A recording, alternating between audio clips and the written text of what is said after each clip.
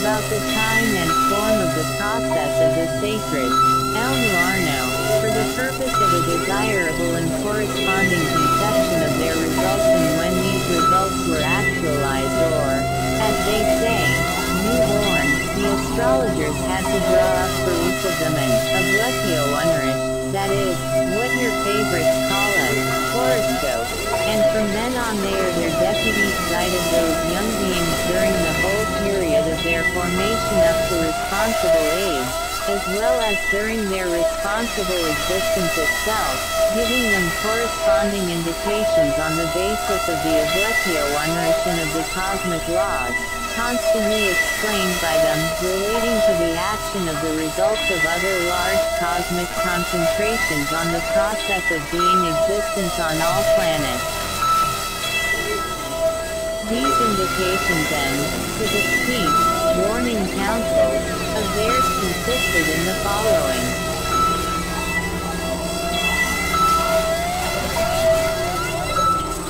Soon as a function became disharmonized in the presence of any being, or was only just beginning to be so, he would apply to the astrologer of his district, who, on the basis of the obletio unrition of the variations expected according to calculation in the atmospheric processes caused by the action of other planets of their solar system, would indicate just what the disharmonized being should do. His planetary body at certain definite periods of the Trentononian movement of that planet, as for instance, in what direction to lie down, how to breathe, what movements it is preferable to make, with which types of beings to avoid relations, and many other things of this kind.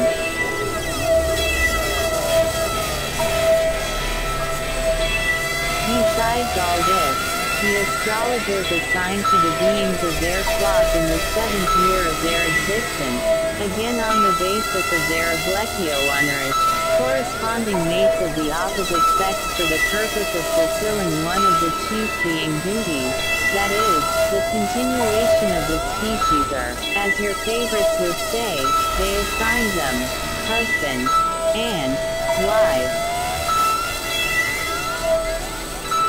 Justice must be done to your favorites of that period as long as these astrologers existed among them. They followed their counsels very strictly and entered into conjugal unions only according to their indications.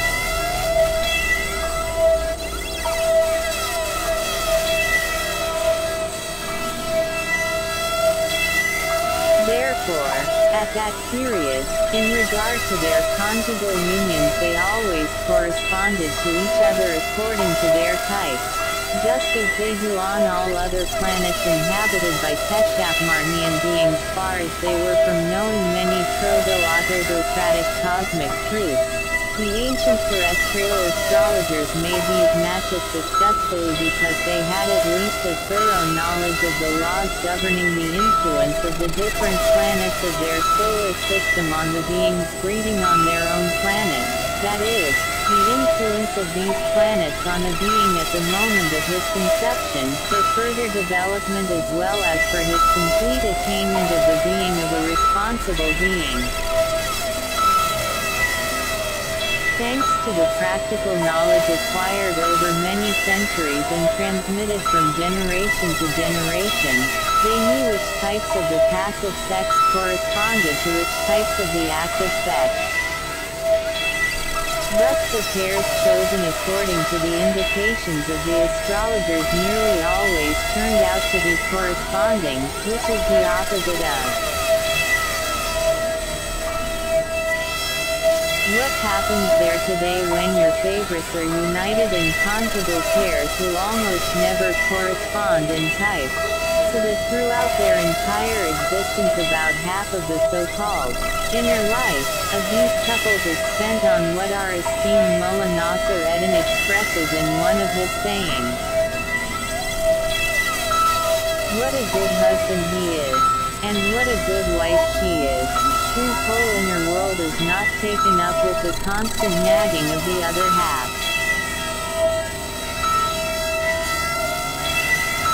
In any case, my boys, if these astrologers had continued to exist and practice there, they surely would have acquired such experience that the existence of the beings of this unfortunate planet would gradually have come to bear some resemblance, at least in their family relations, to that of similar beings on other planets of our great universe. That this beneficial practice, established in the process of their existence, your favorites have thrown, as they have all their other good attainments, without even having had time to make real use of it, to this gluttonous swine, of our venerable Mullah Nassr Eddin. As usually happens there, these astrologers began gradually to shrink, and finally, as is said, they vanished.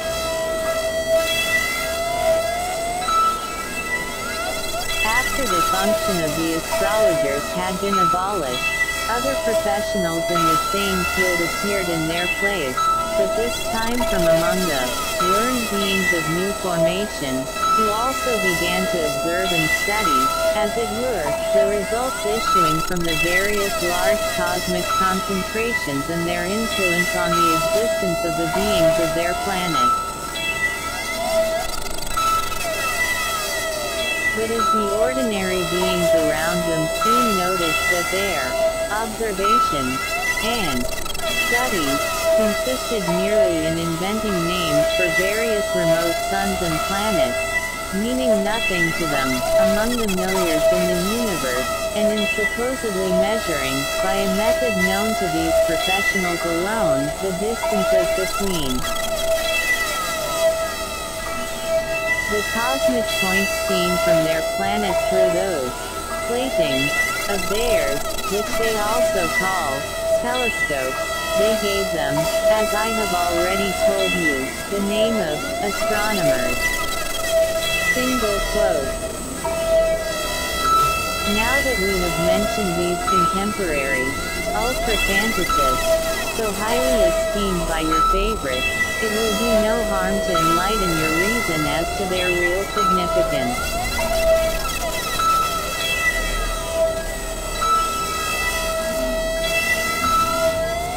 First of all, my boys, you should know about the existence of a something that is actualized for these terrestrial types, as it is in general for every cosmic unit and that serves for beings with objective reason as an initiating factor, for comprehending the sense and meaning of any cosmic result is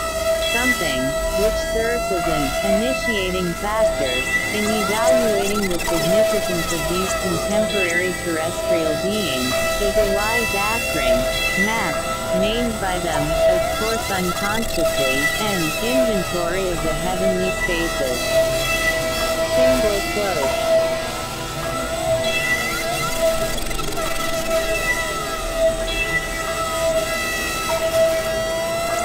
There is no need to draw any other logical conclusion about this initiating factor, actualized specially for them. The very name of this map of theirs is enough to show that its designations can only be relative with the means at their disposal, even though they rat there esteemed brain. In devising names and calculating various measurements, your favorites can see only those suns and planets that, fortunately for them, do not change too rapidly the course of their falling in relation to their own planet, thus making it possible for them over long periods of time, long, of course, as compared with the brevity of their own existence, to observe and, as they pompously put it, mark down their positions. In any case, my boys, whatever may result from the activities of these contemporary representatives of science, please don't hold it against them. If they bring no good at all to your favorites, at least they do them no great harm after all, they have to be occupied with something. It is not for nothing that they wear spectacles made in Germany and special smock stone in England let them be. Let them be occupied with this. God bless them. Otherwise, like most of the other priests there who are concerned, as they say, with higher matters, they will, out of boredom, busy themselves with the struggle of five against one, and everyone knows that beings who are occupied with this exercise always radiate vibrations very harmful for those around them. Well enough. Let us leave these contemporary titulators in peace and return once more to our interrupted theme.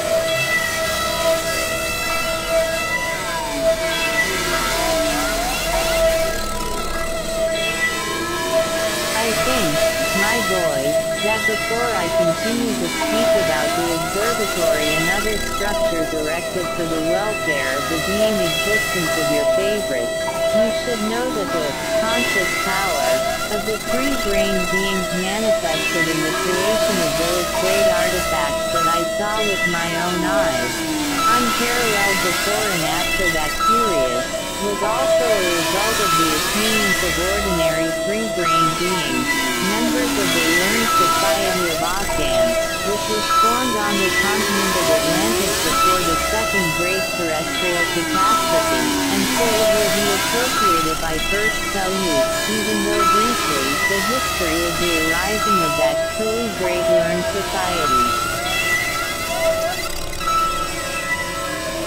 Absolutely necessary to inform you of this history, because in the course of my further explanations about those three-brained beings of the planet Earth who have taken your fancy I shall probably have to refer more than once to that society of learned beings.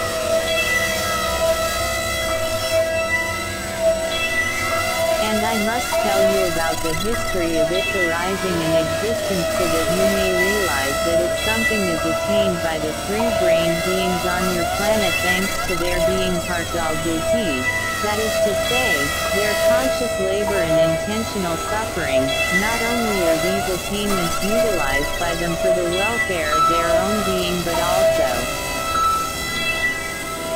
as with us, a certain part of these attainments is transmitted by heredity and becomes the property of their direct descendants.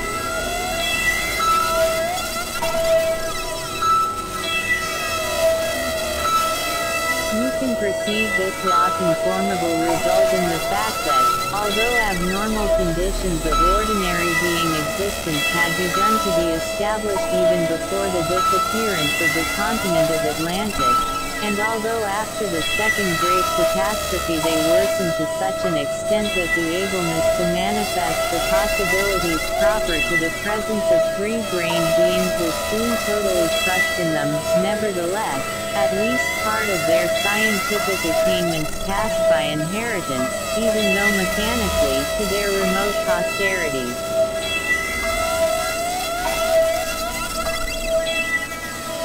I must first tell you that I learned about the history of this society through what are called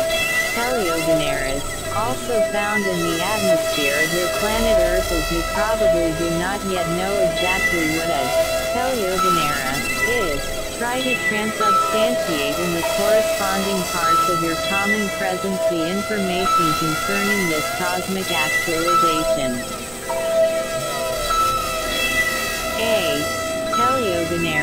Is a materialized idea or thought, which after its arising exists almost eternally in the atmosphere of the planet where it appeared.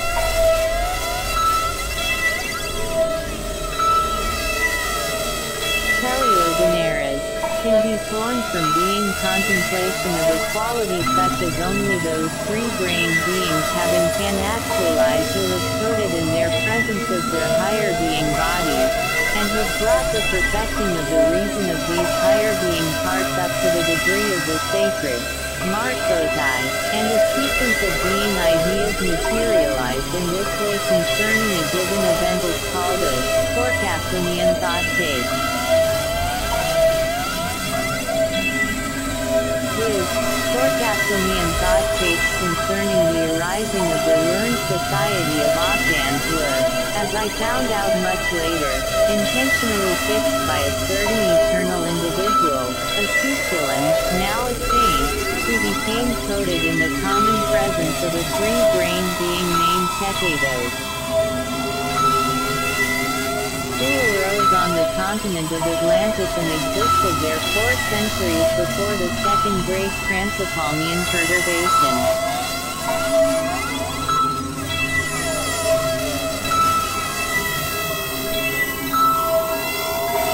These, thought thoughtscapes are never destroyed as long as the given planet remains in the same tempo of movement, as of the moment of their arising, and they are subject to none of those transformations, whatever the cosmic cause, to which all other cosmic substances and crystallizations are periodically subject and however long a time may have passed. Every free-brained being who has acquired in his presence the ableness to enter into the being state called Sorpticalpian contemplation, can perceive these, Forecastonian thought shapes and become aware of their content.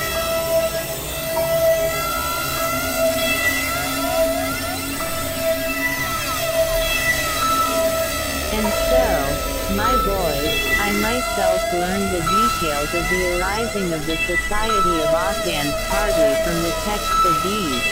Teleoghinooras, and partly from numerous data I gathered much later when I made my usual detailed investigations concerning a highly important fact that interested me from these two sources of information it became evident to me that this learned society of Akhaldan, which arose on the continent of Atlantis and was composed of three-brained beings of the Earth, was founded 735 years before the Second Transapalnian Perturbation. It was founded on the initiative of a being there named Belcultassi, who was able to bring the perfecting of his highest being part to the being of a sacred eternal individual, and this highest part of his now dwells on the holy planet Purgatory.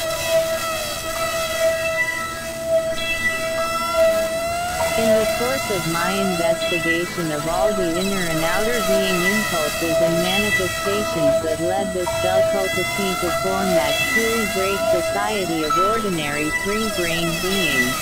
envied, in its state throughout the whole universe as worthy of imitation, it appeared that one day while this future sacred individual was engaged in contempt, according to the practice of every normal being, and by association his thoughts were concentrated on himself, that is, on the meaning and aim of his existence, he suddenly sensed and cognized that the functioning of the whole of him had been proceeding until then not as it should have proceeded according to sane logic. This unexpected realization shocked him so profoundly that thereafter he devoted the whole of himself exclusively to becoming able at any cost to unravel this and understand it.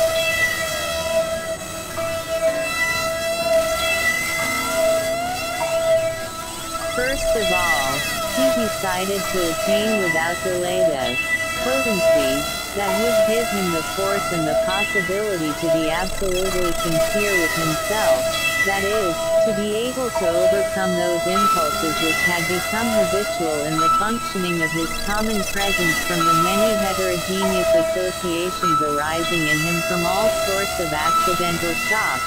coming from outside and also engendered within, namely, the impulses called self-love, pride, vanity, and so on.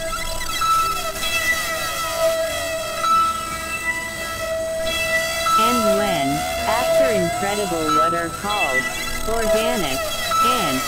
psychic, efforts, he had attained this, he began, without mercy for these being impulses that had become inherent in his presence, To think and recall just which being impulses had arisen in him on just what occasions in the course of his past existence, and how he had, consciously or unconsciously, reacted to them.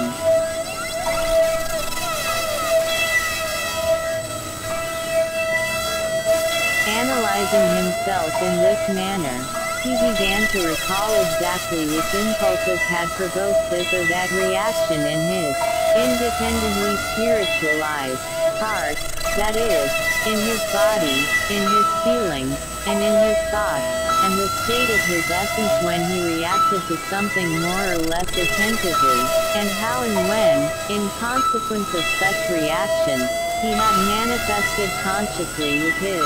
I, or had acted automatically under the direction of his instinct alone.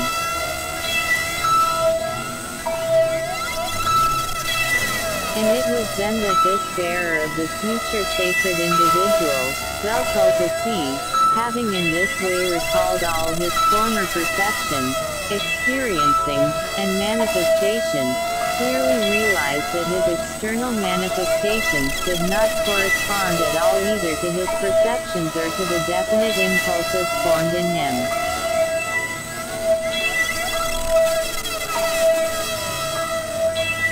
He then began to make similar sincere observations of impressions,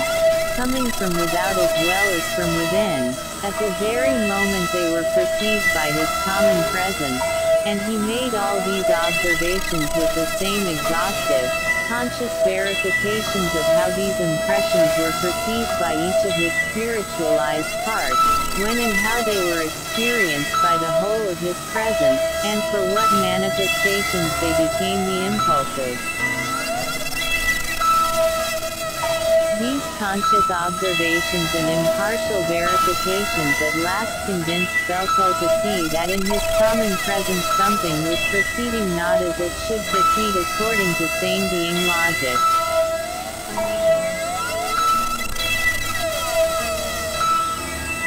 As it became clear to me during my further detailed investigation, Although Belcultassi had become convinced of the accuracy of his observations of himself, he doubted the validity of his own sensations and understanding, and even the normality of his own psychic organization he therefore set himself the task of verifying first of all whether he was in general normal in sensing and understanding everything in this way and not otherwise. To carry out this task, he decided to find out whether others sensed and cognized things in the same way he did. With this aim he began inquiring among his friends and acquaintances, trying to learn from them how they sensed all this, and how they cognized their perceptions and manifestations, both past and present, doing so of course vary. Discreetly, to avoid touching those impulses inherent in them of self-love, pride, and so on. Thanks to his inquiries, Belcultassi gradually succeeded in evoking sincerity in his friends and acquaintances, and as a result he learned that they all sensed and saw everything in themselves the same way that he did. Now among these friends and acquaintances of his were several serious beings not yet entirely enslaved by the action of the consequences of the properties of the organ Kundabuffer, and they also, having penetrated to the gist of the matter, became very deeply interested in it, and continued to verify what proceeded in themselves and independently to observe those around them. Shortly afterward, again on the initiative of Belcultassi, they began to meet together from time to time to share their observations and findings. As a result of prolonged verification, observation, and impartial conclusion, this entire group of terrestrial beings became absolutely convinced, as Belcultassi was, that they were not as they ought to be. A little later many other beings who also had such a presence joined their group. And still later they founded the society which they named the Society of Asans. The word, Asan, then expressed the following concept, the striving to become aware of the sense and aim of the being of beings. Day of the founding of this society, Belcultassi himself stood at its head, and the activities of its members were carried out under his general guidance. For many of their years the society existed under the same name, and its members were called Asan Sobers, but later, when for purposes of a general character they divided up into a number of independent groups, the members came to be called by the names of their different groups.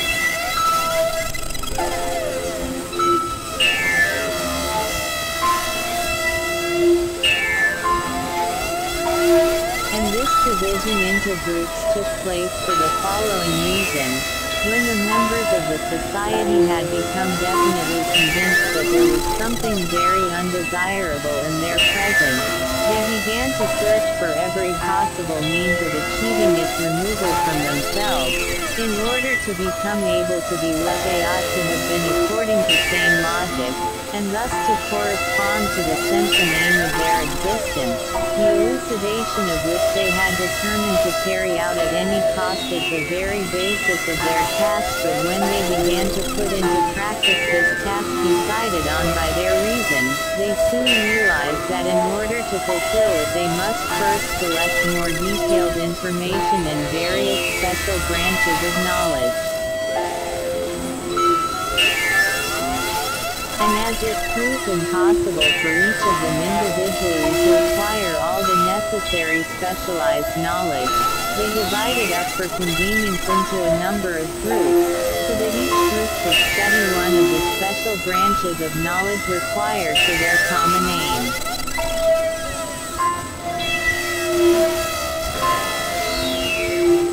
Should note, my boys, that it was then that genuine objective science arose there for the first time, and developed normally until the second great catastrophe to their planet. Certain of its branches even developing at an unprecedented rate consequently, during that period many objective cosmic truths, great and small, gradually became evident to those three-brained beings who have taken your fancy. The members of this first, and perhaps last, great terrestrial learned society were then divided into seven independent groups or sections, and each of these sections received a specific designation. The members of the first group of the Asan Society were called Asan Folksovers, which meant that they studied the presence of their own planet and the reciprocal action of its separate parts. The members of the second section were called Asan Strassovers, and this meant that they studied the radiation of all the other planets of their solar system and the reciprocal action of these radiations.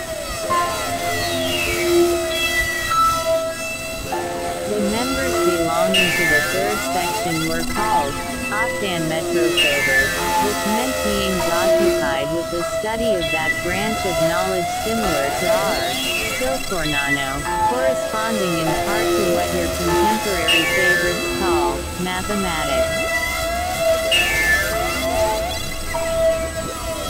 The members of the fourth group were called Asan Psychosovers, a name designating those members of the society who made observations of the perceptions, experiencing, and manifestations of beings like themselves, observations that they verified statistically.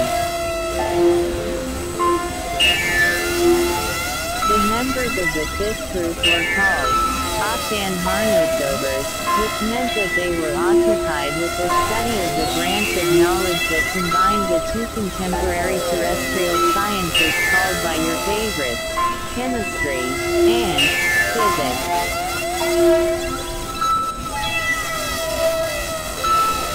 The members belonging to the sixth section were called Ostan Necessovers, that is to say, beings who studied all